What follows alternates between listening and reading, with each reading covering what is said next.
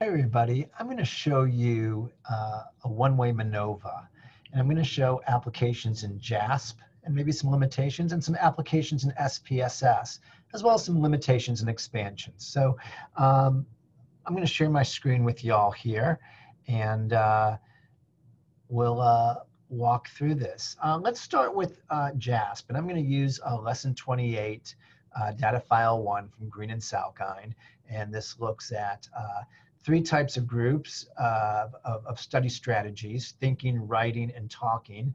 And then there's a recall uh, score and a score for application of the skill uh, based on the study strategy. And so what we want to do is we want to see if the study strat, if there are significant differences in study strategy based on recall and application. Um, and so, you know, a really nice thing about, uh, about JASP is that I can run a MANOVA and uh, I can put uh, in my dependent variables here. And uh, uh put in my group. And uh, from here um, you know I, have run my I've already run my MANOVA and it gives me my Pillai's trace and my p-value and I can ask for additional options. Uh, so we can look at Wilks lambda uh, which is kind of more traditional to report. And just you, you, one thing to notice here uh, with, with uh, Wilks Lambda is that uh, your Wilks Lambda here is 0.42, um, your Pillai trace is 0.602. Uh, one is the inverse of the other, okay? And so, um, yeah, essentially, and so, um, you know, uh, this would be like 1 minus eta squared, whereas this would be the amount of variance accounted for. But a really nice uh, element of, uh, of JASP is that it does your homogeneity of covariance test, which we've met that assumption, and it runs a test for multivariate normality, and we've met that assumption. And so that's a really nice aspect of JASP. Unfortunately, when it comes time to run uh, post hoc analyses, um, JASP is really limited you can look at ANOVA tables, but with a MANOVA, we don't want to look at ANOVA tables. We want to keep our system, our dependent variables together and look at uh, our dependent variables as, as, as, a, as a unified multivariate construct, not as separate ANOVAs. If I was interested in separate ANOVAs, I wouldn't run a MANOVA. I would just run separate ANOVAs. And this is why we need to be looking at SPSS.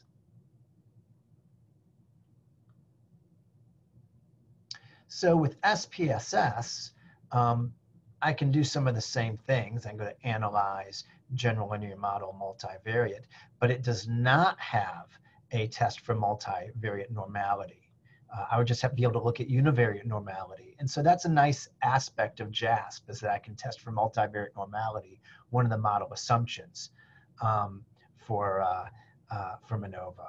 But now um, when I look at uh, application and recall and study skill strategy here. Um, you know, I, uh, uh, I run this and I get the same results, by the way.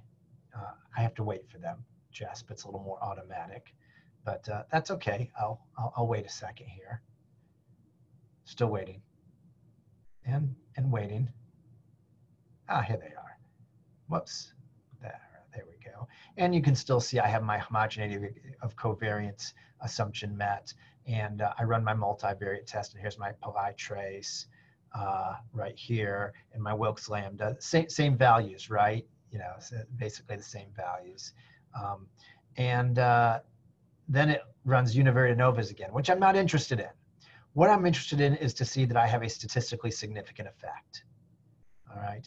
Generally, we look at Wilks lambda um, though I do like the effect size measure in uh, Pillai trace, but uh, we look at Wilks lambda and we see that we have a statistically significant effect. And, um, you know, if you want to know the uh, uh effect size, um, you can take 1 minus, uh, 0.421 and uh, that generally gives you, okay, you can, you're accounting for about 58% of the variance in the model. Um, let's move on. Let's look at uh, um, let's let, let's let's look at uh, the post hoc analysis. Five statistical significance. What does this look like between my groups? So I go to analyze and I go to classify, and I'm going to run a discriminant analysis. It reverses my MANOVA. It puts my study strategies as a grouping variable, which are between one and three. I have three study strategies labeled one, two, and three. And then I put in my predictors or my independents. And when I go to statistics, um, I don't need to run this stuff because I've already run it uh, in my MANOVA. Um, I go to classify, and I like to uh, ask for uh, combined groups. Uh, I like a summary table. Um, and uh, I hit continue, and uh, I click OK.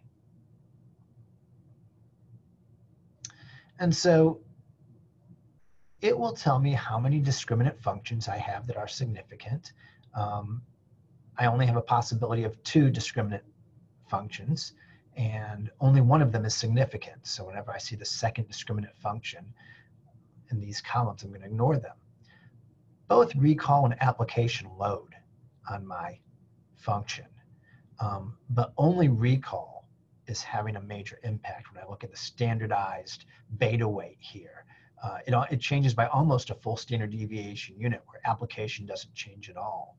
Application seems to be a function of recall that if I can recall the information, I'll be more likely to apply it. That kind of makes sense. So whereas they both load, recall seems to encompass both uh, recalling information, you know, remembering information, and applying it. Um, and nice, SPSS gives you a little bit of a graph you'll notice that function two, these are basically on the same horizontal line because function two wasn't significant, but function one, one was. And people who uh, are better writers were able to recall more, followed by people who are talking and then thinking. And so um, writing seemed to be a better uh, strategy for remembering and being able to apply knowledge. Um, and so we can see that uh, uh, right here, writing had the, the, the, the, largest group centroid, kind of a multivariate mean, um, you know, and, uh, you know, uh, and, and, so it's definitely a much, a, a, much more superior strategy. And so that's how we run um, a uh, MANOVA with a post hoc discriminant analysis. Hope that was helpful to you.